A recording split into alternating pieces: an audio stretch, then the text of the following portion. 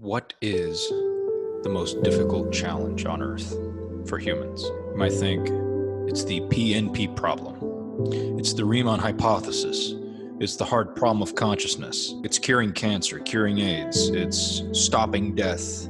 It's stopping war, poverty, pandemic. It's finding the best system of government. No, all of these solutions flow from the fundamental solution opening your heart to every moment and every person on earth. That is the most difficult and the simplest challenge. It is available and calling to on every human. It can be boiled down to this Can you be placed in a room with any person on earth at any age with any condition and open heartedly coexist and communicate. Talking about a toddler, a gang member, an international banker, a sports player, someone who has aphasia, any person on earth. Can you communicate with them and feel love towards their existence, the, at the very least, the coherence of their body? Can you do that? You think you can, maybe, but try. Every single moment you have with any human, now it can get extended, by the way exist in a room without any other human. Gaze at the furniture, at the walls, at the dust mites and bacteria, etc., the little molecules composing the furniture. Do you feel love for their existence? Or are you indifferent or sort of bored by their existence? You know, many people call this bliss, but really it's love. It's infinite love. Feeling love, adapting and molding love to any moment to any human, any being, is the most difficult challenge.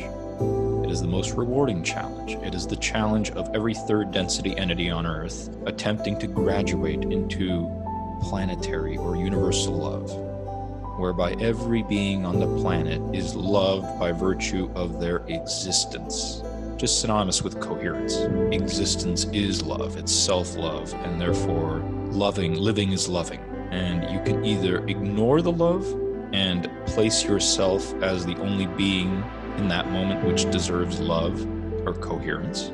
Or you can become service to others and love others as oneself. And you become a representative of existence at large, and everything else becomes a co representative. You regard everything with an open heart. Any situation, whether it's illness, violence, inefficiency, incoherence, can be met with love, and that is the most coherent state of being is love. It is not fully understood because third density entities want to limit love. Well, I have love for my friends, family, and you know certain objects that cause me pleasure or ease, but everything else, you know, how could I love a table? How could I love the walls? How could I love, you know, the, the person in Pakistan that I've never met?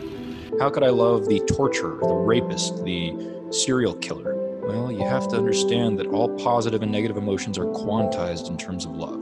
And love now becomes a spectrum between compassion for those in pain, mercy for those who are causing pain, and then on the other end of the spectrum is pure joy, which is what people experience, you know, their wedding, at birthday parties, etc., etc., you know, in sex. These things cause pure joy there are you know intermediate quantizations of love like excitement loyalty creativity etc these are all attributes of love. The easiest thing you can do and it's funny because we're talking about the most difficult challenge but it is simple. It is simple but extremely difficult. Maximally difficult. You will be thrown this is why we incarnated you'll be thrown out of the loving state every which way. You know all of a sudden somebody cuts you off and dents your car right? How could you possibly love that moment well, there's also something called patience and understanding. You have no idea what that person is experiencing. And first of all, you're not regarding them as isomorphic to yourself. You're not regarding them as a co image. If you do that, then it becomes much easier to soften and open and deepen your heart towards them. So, the reason why this is also the most beautiful challenge is because it is open to everyone. Everyone has emotions, and those emotions are expressions, self expressions, self quantizations of love. Every human, their mission on earth is to increase their love, to expand and express their love every which way. Whenever you are blocking a situation, when you're trying to deviate from a situation, say, well, this is just total idiocy. Love doesn't mean that you accept everything as is. Love means that you accept the existence of something, okay? And then you can reconfigure based on more optimal forms of love. But everything is a form of love. Everything. Loving is living, is bonding. So any bond, whether it's an atomic, molecular, cellular, biosystemic, organismic bond, societal bond, these are just forms of love. The faster you understand this, the more meaningful your mission on earth will be.